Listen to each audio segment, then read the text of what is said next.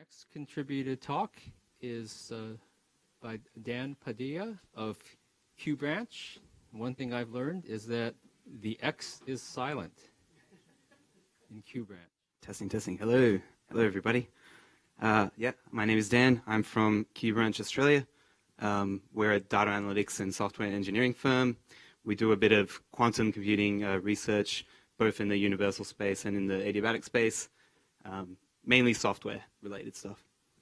Um, yeah, we have D-Wave agreements with both Lockheed and, and, NASA as well, so we get to play around a lot.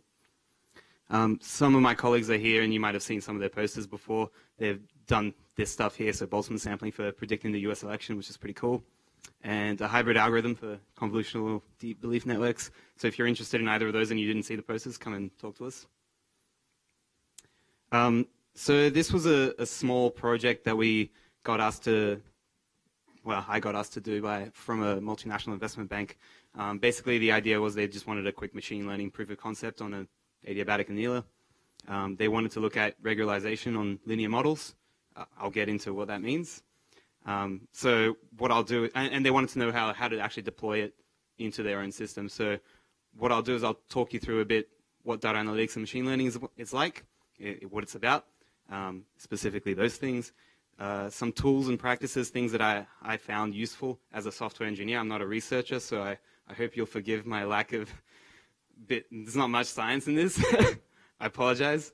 Um, and some, I'll, I'll, show you the simple linear implementations that I made and a few results that may or may not be interesting to you. So the basic idea behind uh, data analytics and machine learning is data analytics is just about extracting insights from data sets. Um, making actions based on those insights. Uh, machine learning is kind of, they're, they're, very overlapping terms. Machine learning, we kind of say, is just giving a model, like learning a model based on some, on some data that you get and generating predictions automatically from that. Um, you know, in practice, they're just buzzwords for applied statistical analysis. That's all it is. Um, it's just a bunch of magic that you throw. You throw them, throw data at linear algebra, you tweak it around a bit, um, make sacrifices to the statistic odds, and it all works. So linear regression is a the model that they wanted me to look at specifically. It's a very simple model. You've probably used it before in Excel or something. You've just got a bunch of points and you fit a line to it. Super easy. If you've got it in n dimensions, then you've got an n-dimensional surface. Super easy again. It's just a linear thing. If you have a data set which is, consists of rows of samples, of features, and what you're trying to learn is you're trying to learn a, a, set of feature weights and maybe an offset that when you multiply them together, you get a set of predictions. So this is a value that you're predicting from these samples. Um, you're also given a set of target values, which is the, the data that you're trying to predict, basically. Um, so you're trying to learn a model. The basic idea behind most machine learning algorithms like this is that you're trying to minimize an error. So your prediction minus the value you've actually seen. You want to make that as small as possible.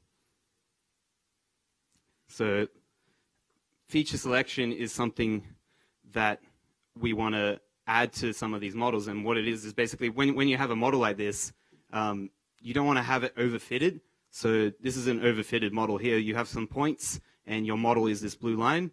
And you can see it matches up with the points really perfectly well, but you've got some weird bits like here where there's no no points, and that's that's not what you'd expect an actual like prediction to be. You wouldn't want it to be down there. So what you want is a, a good fit for a model. Um, because if you if you don't have that, then it's less accurate to predict any data that you haven't seen before. So anything that, that's not part of what you learned from. Um, one of the methods to do this sort of feature selection is uh, feature selection by regularization. Basically, you're trying to just minimize the complexity of the model that you're building. If you have uh, features that you're trying to trying to learn, you want to learn maybe as few features as possible that still gives you an accurate prediction. So basically what you do is you add a, an extra term, regularization term, and this, this notation here is basically called a norm. It just means this is the size of the vector. I know this is probably really obvious to a lot of you guys, but just in case you, are not aware. Um, the norm just means it's the size of the vector, and you pick, you basically pick what kind of uh, size you want to define, like how you want to define the size of the vector. So what you're probably aware of is the Euclidean size. If you have a vector, the Euclidean distance of, of that vector is just square root of squareds. Um, but there are also these other norms, L1, L0, there's other kinds as well. Um, what these norms have in, in difference is that they, they are more likely to find uh, models where a feature um, is, so they're more likely to find sparse uh, models where you have less features. So here, if we have feature one and feature two, and the blue line is the set of all possible uh, models that you can build, you want to find one of these two dots because in this dot, only feature 2 is present. In this dot, only feature 1 is present. Everywhere else, fe both features are present. So you want to find one of the more technically, theoretically optimal points. Um, so L, L2 and L1. L2 doesn't really find these optimal sparse ones. L1 does, but it's not quite as good as L0. But the problem with L0 is that it's a um, it's a spa, uh, it's a non-convex problem, so it's very difficult to do computationally. Um, but you know, this is we want to try hard things, so this is why we use the D-wave and quantum annealers. Um, so if you want to build this kind of model, you basically just pick which norms you're going to use, L2 and L0, for your loss and your regularization functions.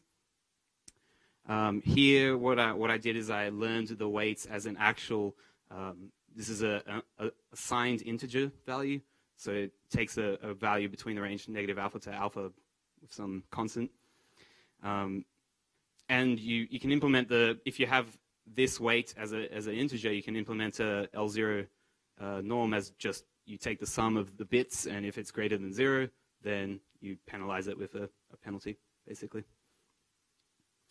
Um, when you want to actually get to the, the D wave, there's a lot of processes, in, uh, a lot of steps involved. There's this often this step here that takes a lot of time and, and effort and mental energy just to work out um, to go from that point to that point. So something that might be helpful to if you've never encountered this before is um, symbolic computation. Um, the idea is that if you know your model like this and you don't know how to get to the Ising problem from it, then well, why don't you just let the computer figure it out for you, right? So you just program, you've got the green bit here, it's just y dot product of x and w plus b squared. W0, which is this bit here, is just a sum of all these things with some variable array. So um, this is just an example of using uh, a tool like SymPy, Symbolic Python. It's just a library. The Symbolic Math Toolbox, I think, does the same thing for MATLAB. I've never used it, so I don't know.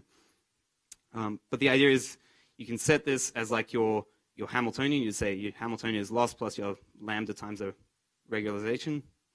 And then, you know, if you've got a D-wave solver, you can tell the, the symbolic expression to just like get the Ising problem for you. Uh, obviously, you have to write that a procedure to do that, but um, and then you just run it on solver. So it's super easy. Um, so if you haven't encountered this sort of thing before, you might want to check it out.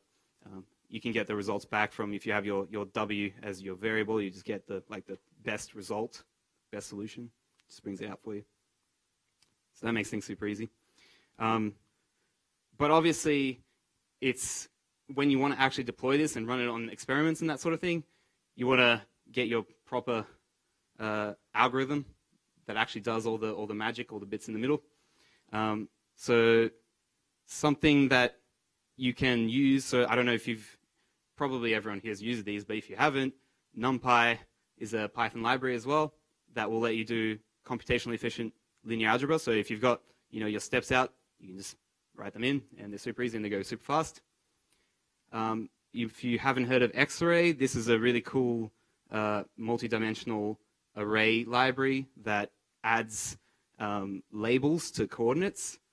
And so if you've used pandas, it's like a multi-dimensional version of pandas, which is a bit of a weird uh, thing to write into Google. Um, and something else that I think is really important is um, if you if you haven't come from a software background, you might not know about regression testing and uh, version control. Uh, I hope that everyone here uses version control, but if you don't, you're probably doing yourself a disservice. Um, so things like Git and Mercurial. Mercurial um, regression testing is basically just trying to protect yourself against changes. So you want to have a, a set of tests that just like make sure that your your program is running as expected, and if you make changes to it, Um, it doesn't break, doesn't cause bugs, and you, you can cache them easily. And the reason I bring this up is because if you're also doing the symbolic computation stuff, you can use it to verify your like procedure against a machine uh, design or machine computed um, symbolic expression, which is really cool. So, as an example that I have here is you, you know, I've got my symbolic and my computed like sim, uh, symbolic comp- computation one, and I just check that they're both the same for it, and then this works every time. Uh, once you've got a once you've got this sort of model for machine learning, that's only one small part of the whole machine learning pipeline. That's this training bit.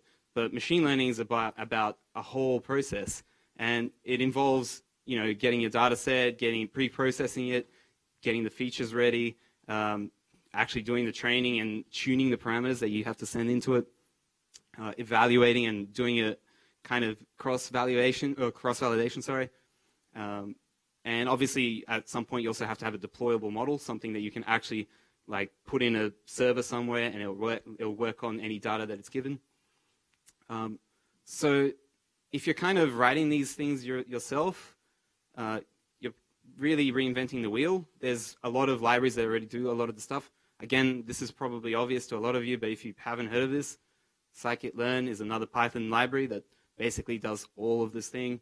So, and a lot of people use it in the real world. Um, so the thing about it is it's highly extensible, and what you can do is you can build your own estimators, right? And they can use the D-Wave and train. So here is an example where I built a, a linear model and it's subclassed from a linear model from scikit-learn. So all I have to do, the only thing I have to do in this whole code is write this one function, fit. It takes my symbolic problem that I wrote before, builds an Ising problem out of it, runs it on the, on the D-Wave solver, gets the best solution, decodes the, uh, the two variables that I care about, that's it. And immediately, I can use this as any other uh, estimator. So we've got ElasticNet, Lasso Ridge. These are other types of, of models.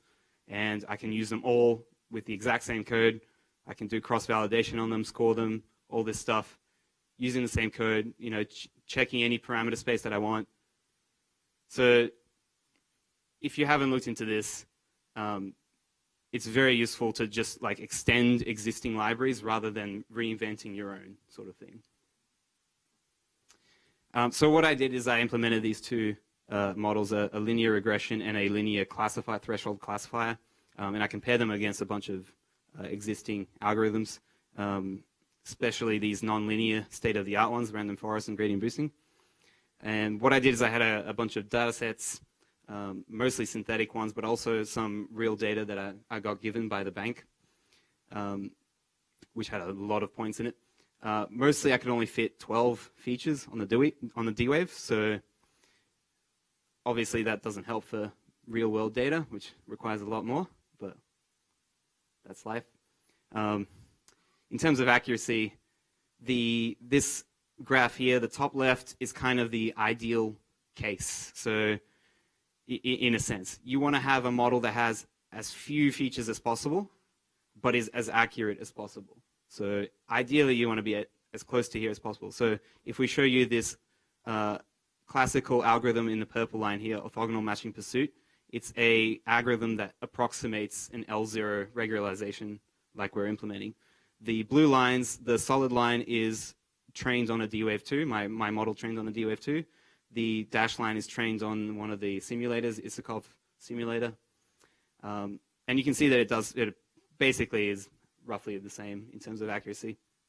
Um, however, this is not always the case. This is for a couple of data sets. For one data set in particular, when you run it on the simulator, it still works perfectly. When you run it on the actual D-Wave, sometimes you get results where it's worse than if you just randomly made guesses. So I think there's something to do with embedding parameters, tuning them properly here. I didn't really investigate, so I don't know. Uh, as a classifier, there's also some accuracy, uh, same as the orthogonal matching pursuit here. So again, top left is the ideal case. If you notice these green and red lines, this is random forest and gradient boost, they're the nonlinear models. They're, they're always going to be really good. They kind of have some correlation, they, they find correlations between features that are uh, that a linear model wouldn't find necessarily. However, they're not really doing feature selection. They're not really choosing the smallest number of features that you, as possible. So it's not really a, a, it's kind of a different comparison to make. Also, they they tend to be even slower than the uh, so this is in time time taken, even slower to train than a, a D-Wave 2 approach. So um, in terms of scalability, yeah, we know the D-Wave 2 doesn't fit that huge problem, so 10 to 20 features is what we can get. Um, if you you know implement stuff in NumPy, then you've got a pretty linear scaling uh, pre-processing stage. Um, then the post-processing is is your bottleneck.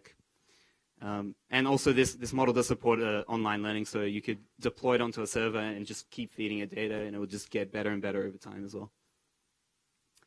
Um, and finally, in terms of feature selection uh, performance, uh, one particular advantage that I, I think a lot of people have identified before is um, the D-Wave gives you a lot of very good solutions very quickly.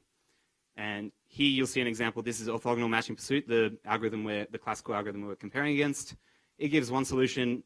The features look roughly the same in, in to the solutions we got with the D-Wave, but it only gives you one solution. It can only give you one solution. It's a greedy algorithm. So the D-Wave gives me three solutions. They all roughly the same accuracy, but they're totally different. And sometimes you want totally different models because maybe you have certain constraints on which features you care about. Um, obviously, random forest gets a lot better accuracy, but again, it's picking these tiny little amounts of features that sometimes you don't care about. So, in terms of takeaways, this L0 approach, um, it's we've seen it before. Some of these uh, guys from uh, um, from our hosts are going to have, I think, a talk next about the same sort of stuff. Um, this, there, there, may be some interesting stuff to look at with these L0, um, but I think if you haven't seen some of these tools and, and, techniques that I've described, that's probably the main takeaway. Um, if you want to, if you're interested in further research, there's always, you know, doing more rigorous analysis of this sort of stuff. Um, using D-Wave as a hybrid online model that's always online and you're always feeding it data, that sort of thing. Um, yeah, and with that, if there's any questions, thank you for your time. Thank you, Dan. Time for some quick questions.